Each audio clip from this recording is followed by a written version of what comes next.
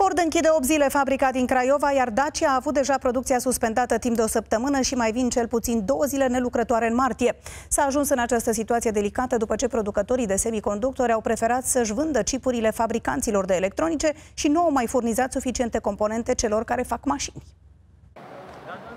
Ford este al doilea producător de automobile din România după Dacia, care oprește producția din cauza crizei de semiconductori. Măsura intră în vigoare de mâine și deocamdată este valabilă 8 zile. Planul actual este ca producția la Ford Craiova să fie reluată pe data de 10 martie. Pe parcursul celor 8 zile în care producția va fi suspendată, angajații fabricii Ford Craiova vor fi plătiți conform acordurilor încheiate între companie și sindicate de la începutul anului, Dacia a întrerupt deja producția 10 zile. Astăzi a anunțat că muncitorii vor sta acasă încă două, pe 5 și 8 martie. Dacia este afectată de această criză. Speranța noastră să nu mai avem astfel uh, uh, de probleme, dar uh, sunt ipoteze în fabrică să iau și alte variante, că ar mai fi ceva zile care ne vom opri. Dar nu sunt lucruri certe. Criza de semiconductori este globală și a fost provocată de nevoia mare de chipuri pentru producția de console pentru jocuri, calculatoare personale și televizoare.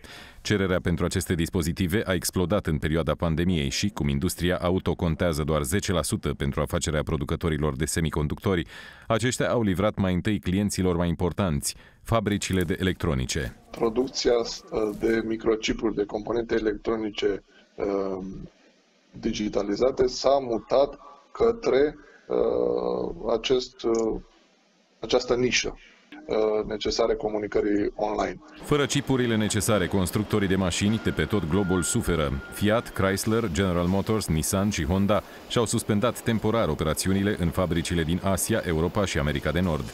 Estimările arată că producția a peste 200.000 de mașini a fost afectată, iar cifra ar putea să ajungă la jumătate de milion. Volkswagen ia în calcul să dea în judecată furnizorul de semiconductori din Taiwan pentru pierderile provocate.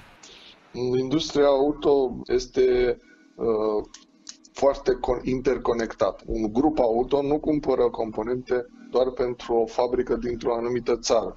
Achizițiile de componente se fac centralizat pentru toate fabricile pe care le au în toate țările, astfel încât uh, uh, selectarea unui nou furnizor uh, pentru asemenea componente înseamnă un proces mai îndelungat. Analiștii sunt de părere că lipsa chipurilor auto o să persiste până la șase luni, chiar dacă industria de fabricare a lor încearcă să țină pasul cu creșterea bruscă a cererii. Semiconductorii, indiferent că sunt destinați unui laptop sau unui autoturism, își încep viața ca placă de siliciu, iar procesul prin care devin chipuri durează aproape 90 de zile. Construirea de noi fabrici pentru chipuri costă 10 de miliarde de dolari, iar extinderea capacităților poate dura până la un an. Urmărește cele mai tari show-uri integral pe ProTV+.